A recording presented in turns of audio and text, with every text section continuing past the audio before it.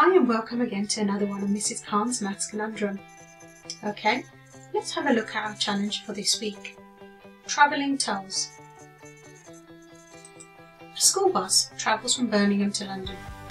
There are four children in the bus. Each child has four backpacks with him. There are four dogs sitting in each backpack. Every dog has four puppies with her. All these dogs have four legs with four little toes at each leg. Now let's have a look at the question. What is the total number of toes in the bus? Please feel free to play back and pause the video to read the travelling toes information before answering the question. Send your answers, including the working out, either as an email or photo to maths. Sharp points will definitely be awarded for all participants.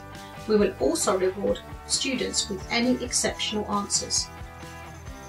Okay, that's it from me. You take care and I look forward to hearing from you soon with some answers. Bye.